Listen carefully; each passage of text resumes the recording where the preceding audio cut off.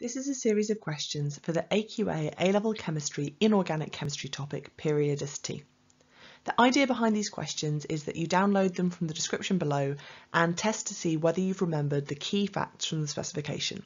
So there isn't any analysis here or any calculations, we're just seeing have you recalled those key facts. The first thing that you need to be able to do for the periodicity topic is to identify the different blocks within the periodic table. So you should know that the S block contains elements that are found in group 1 and group 2 here, whereas the P block contains elements in groups 3 to 0 here, and then the D block is found between groups 2 and group 3, so it contains all of the transition elements but also zinc and cadmium and mercury. And then finally down the bottom we have the lanthanides and the actinides, which are the F block.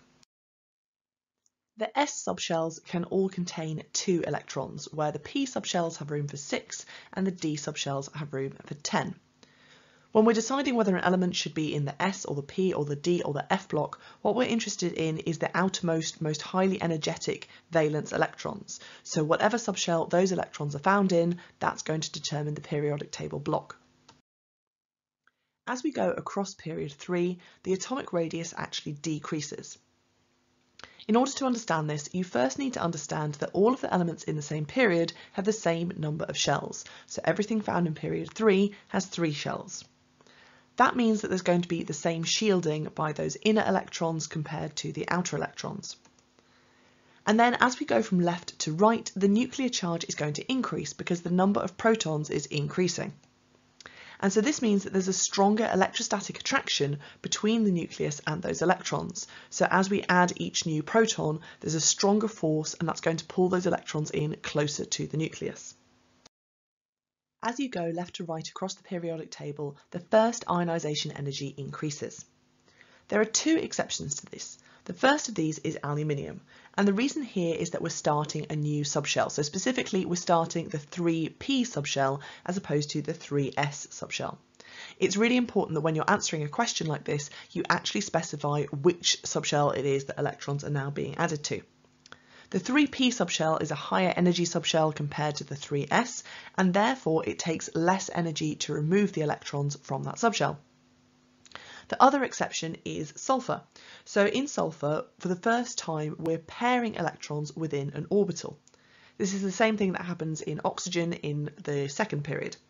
So the reason that this is significant is that these electrons are all trying to repel each other, and if the electrons are having to share an orbital, then there is stronger repulsion than there is between electrons that have their own orbital. So this means that that next electron is experiencing increased repulsion compared to the other electrons that have been added already, and therefore it requires less energy to remove it from that atom.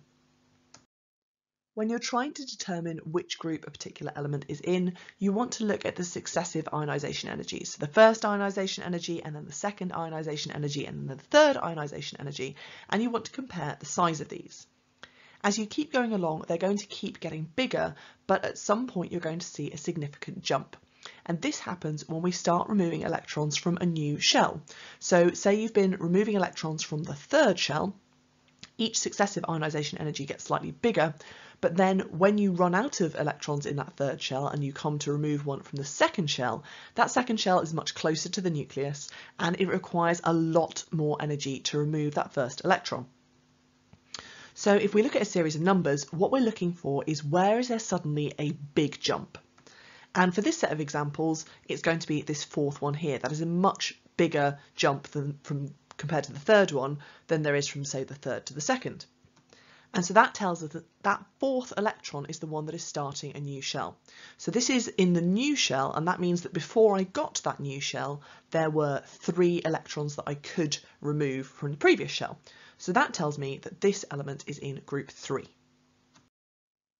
This is maybe not strictly a fair question because there isn't really one single trend as you go across period 3.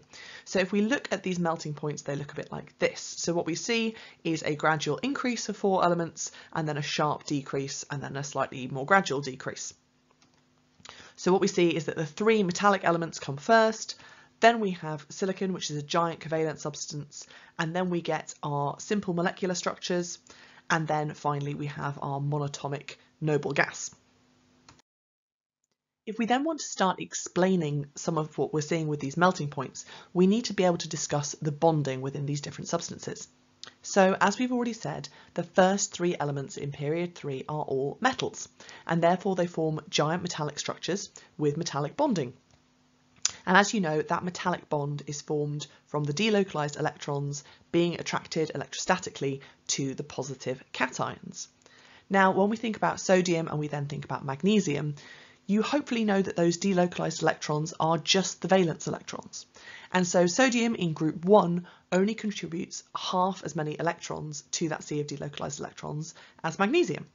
And also it has a cation which has a single positive charge, whereas magnesium has a 2 plus charge. And so both of those factors are going to contribute to the metallic bonding in magnesium being much stronger than the metallic bonding in sodium. And therefore we see a higher melting point because it takes more energy to overcome that strong metallic bonding.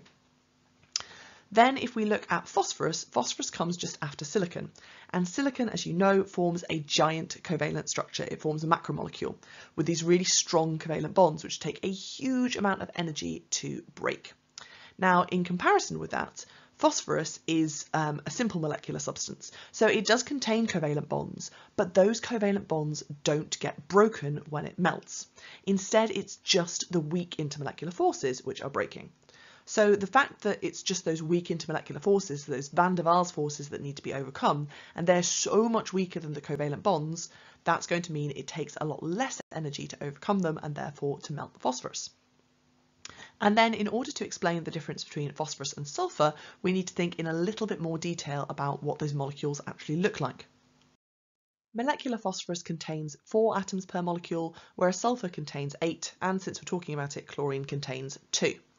Now, these are all uncharged, not polar molecules because they all contain atoms of just one type. So we're not thinking about dipoles here and other kinds of weak intermolecular forces, we're just thinking about van der Waals forces. And because these molecules are all just made of one kind of atom, really the major thing that is going to control the size of those van der Waals forces and the strength of those van der Waals forces is just how big that molecule is. So the fact that sulfur contains twice as many atoms in each molecule means that it's going to experience stronger weak intermolecular forces. And these are going to require more energy to overcome, and therefore the melting point of sulfur is going to be slightly higher than that of phosphorus. Thank you very much for watching, and I hope you found that a useful roundup of the periodicity topic for A-level chemistry. If you did find it useful, then don't forget to like and subscribe for more A-level chemistry resources coming soon.